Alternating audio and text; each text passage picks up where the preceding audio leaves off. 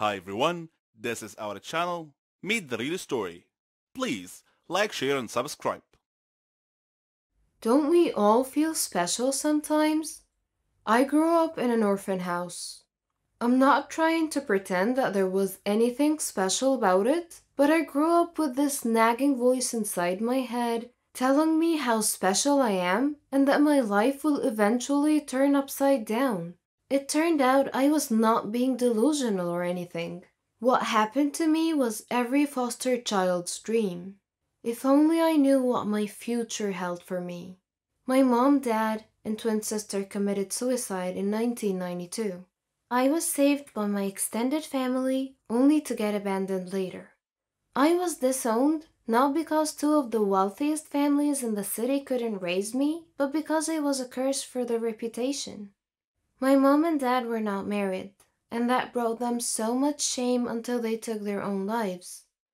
Fast forward few months later, one day I woke up at a children's home. I'm an orphan now. I have absolutely no memories of my parents or even my twin sister, but I do remember my extended family very well. They gave me up when I was six years old. My uncle is an extremely rich businessman. He was never really bad to me. In fact, he put me in what you can call a fancy home. Although he promised to visit me every weekend, he never did. I was put in a medium sized room with four other girls Rosaline, Claire, Bella, and me, Rachel. They were all dressed in clean nightgowns, but they were all the same color pale green. Mrs. Milton, our guardian, gave me a similar gown to put on. It felt as if I was admitted into kids' military. Our hair was always put up in a tight bun. We all looked the same. Mrs. Milton was not the kindest person you could come across, but she wasn't evil either. The house was divided into two sections, one for the boys and one for the girls. The only time we met the boys was in the outside building, which was some sort of a school. We took a few classes every day, and to be honest, we had some really good teachers. I always sat next to a boy called Nate. I thought he was super smart, and he always helped with my math homework because numbers were never really my field of expertise. We eventually became really good friends. Whenever I went back to the room, all the girls were too occupied with their toys, and they were all good friends already. It felt like I was an outsider. However, a few months later, I became the alpha of the group. Don't get me wrong, this is not another Oliver Twist story. We used to pull pranks on each other all the time, and we had a really good laugh. I mean, being in a foster home is not exactly a vacation, so we made the best out of a bad situation. When the girls would go to sleep at night, I would go fake sleeping until Mrs. Milton had gone to sleep as well. Then I would stare out that tiny, teeny window and start counting the stars one by one. I named one after my dad, one after my mom, one after my twin sister, and finally, one after Nate. I would stay up all night long daydreaming until I fell asleep. Mrs. Milton would wake us up around 6 a.m. to have breakfast and go to class. It went on like that for years and years. Every day seemed exactly like the other, except on the weekends, which wasn't really much of a weekend. It only meant we were allowed to eat dessert. I have always been an extremely curious little girl, and the reason Nate and I grew so close was because he was a curious boy as well. We had no idea about the outside world. We had so many unanswered questions and sometimes we would make up answers to tame our brains. The girls had relatives visiting them during the weekend, but I would stay in my room. Sometimes I cried, and sometimes I shut my eyes close and tried to imagine what my mom looked like. One day during science class, Nate asked me who visits me on the weekend. I never said anything back. I pretended that I didn't even hear him. But in a moment of extreme confusion and sadness, I wrote something down on a piece of paper and passed it to him. It said, Let's get out of here.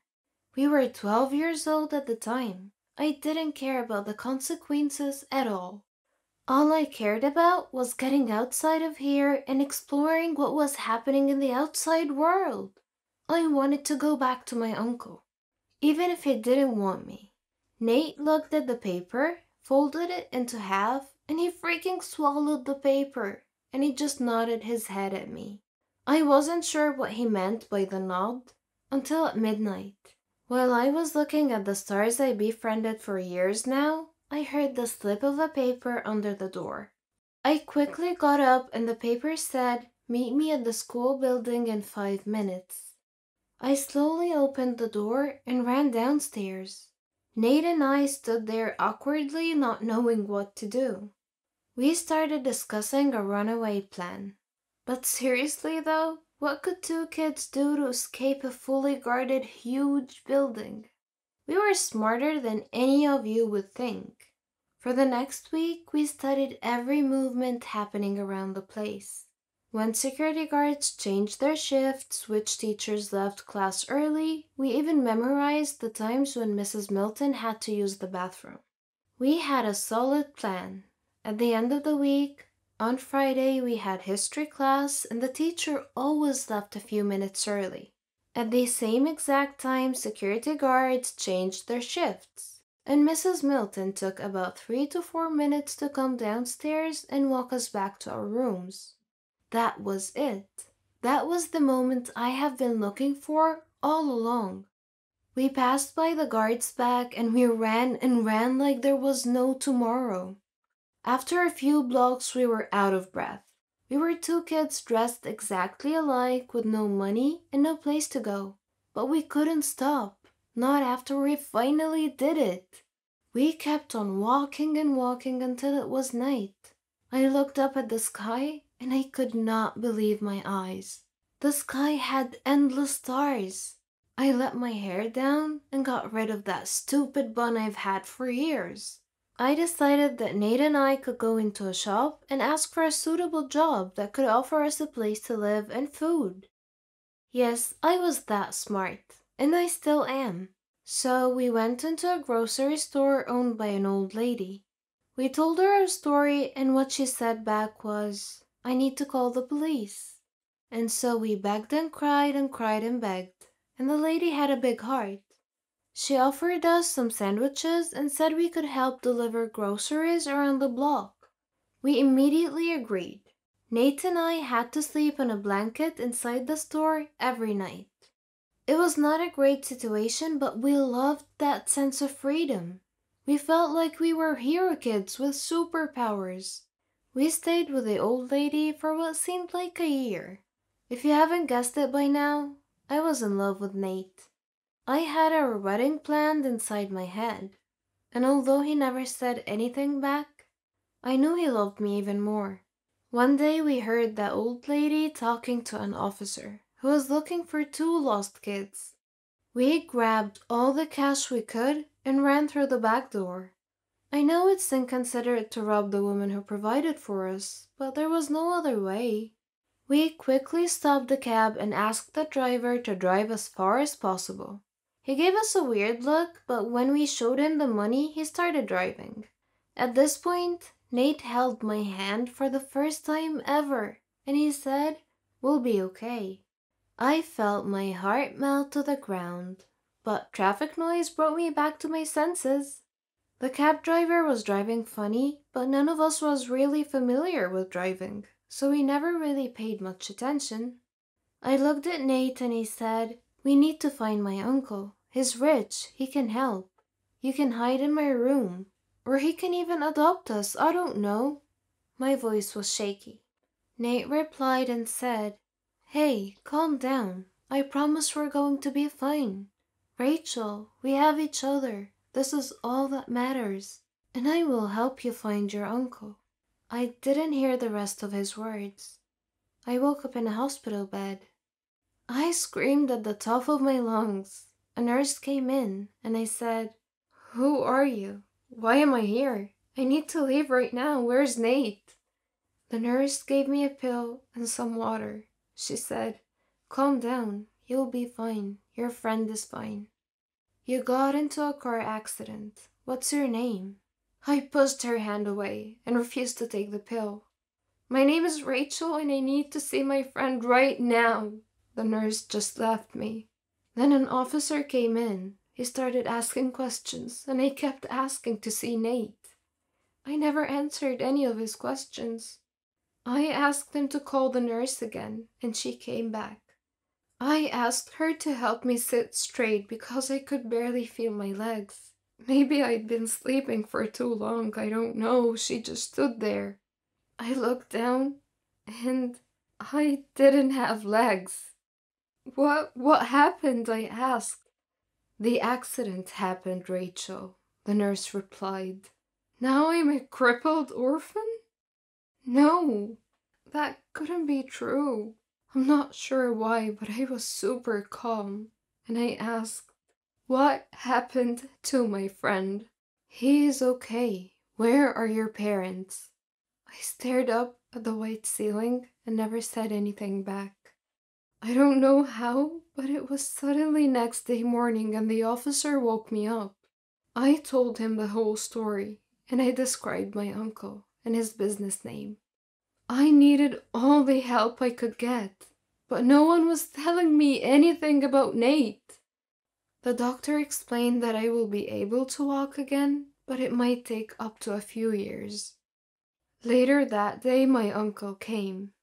I had an ocean of mixed feelings, but my eyes were stoned. I couldn't shed a single tear. The first thing he said was, Why did you do that to yourself, honey? He dared to call me honey and to blame me for his own doing. I half smiled and said, The doctor said I'll walk again. Have you heard anything about my friend? He told me that Nate had a brain concussion and he's in a coma. And that was when my stone eyes melted. I felt guilty. It was me who made him run away. If it wasn't for me, maybe he would have been fine now. Uncle Todd, could you please call in the doctor for me? I asked. The doctor was very understanding.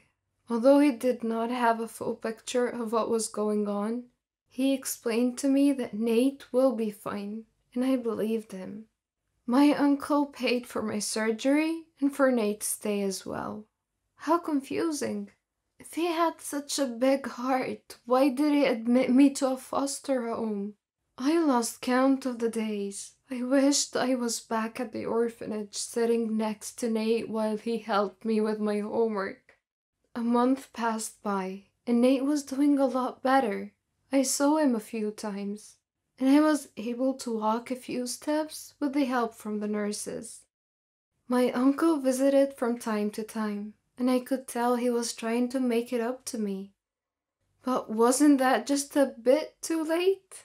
Six months later, we were both sent back to the orphanage with reports that Nate is at a risk of a brain stroke and that I couldn't walk or stand for too long. My uncle offered that we stayed at his house, but we both knew he never meant it. Back at the orphanage, we were treated differently. It wasn't just the same. Things have changed. Mrs. Milton had quit. The new guardian was called Mrs. Buffy, like the one from Buffy the Vampire Slayer. Let me tell you that that woman was not kind. During break time, Nate and I would discuss what we wanted to pursue as careers, because we only had a few years left here, and then we could just leave without having to run away. Nate wanted to become a programmer. The guy was a true genius. I wasn't so sure of what I wanted. But if you guys still remember the beginning of my story, I knew I was destined for something special. Mrs. Buffy caught us exchanging love letters, and Nate and I were forbidden from sitting next to each other in class. Well, except during history class, because the teacher didn't really care much about anything. We were also expert sneakers by now, so we managed to steal a kiss every now and then. Things were starting to get better. I could walk better, and Nate could talk better because he had a problem with stuttering. A year passed by, and we were about to leave the orphanage and go to college in less than six months. One day during break, Nate started throwing up. Mrs. Buffy refused to even call a doctor. The next morning, he couldn't speak at all in class and he started throwing up again and again. I ran up to Mrs. Buffy to take him to the hospital and she replied, We can't afford hospital, Rachel, and looked the other way. Call my uncle right now, I screamed at her. Fine, she said in a very careless voice. My uncle came and Mrs. freaking Buffy refused that I go with them. And so my uncle took Nate to the hospital. After four hours, my uncle came back, and without my consent, he demanded I leave and go home with him. I was so concerned and just went with him. I kept on asking questions and he said nothing back. He parked in front of his mansion and he said, They tried their best at the hospital. I'm so sorry. And he hugged me for the first time ever. I pushed him back and he said, What does that mean? Do you mean that Nate is gone? And then my uncle started crying. He invited me to go inside, but I refused. No, no way. Nate couldn't just leave me like that. I walked away. I sat on the pavement recalling all the memories we had together. I looked at my artificial legs and kicked them so hard, but I didn't feel a thing. I lived with my uncle for a year, on the condition that I will pay rent until I could move out. What if Mrs. freaking Buffy had called the doctor? Wouldn't Nate be here right now? I had nightmares about killing her every single night. I got a part time job as a teacher. I paid my rent and saved the rest for college. I finally knew what I wanted to study. I wanted to study journalism. I worked day and night until I could afford college. I sent hate letters to Miss Buffy every now and then. As soon as I graduated, I landed a one in a million job. I worked for the biggest newspaper in town. I moved out from my uncle's, but we are on good terms. Two years later, I went back to the orphanage, only to find out that another kid had died due to lack of responsibility. Although Mrs. Buffy was old and even grumpier now, it didn't stop me from getting back at her. I wrote every detail of Nate's story and submitted it to my boss. He never even knew I grew up in an orphanage. The story went viral. I was even interviewed to share more details on television. Finally, Mrs. Buffy went to prison after a long trial. Oh, I could almost hear Nate smile in heaven right now. I may not have legs, and I may get bullied every now and then, but I have Nate living inside my heart. After things went viral on social media, I was able to get enough donations to open my own foster home in Nate's name and to forever honor his name.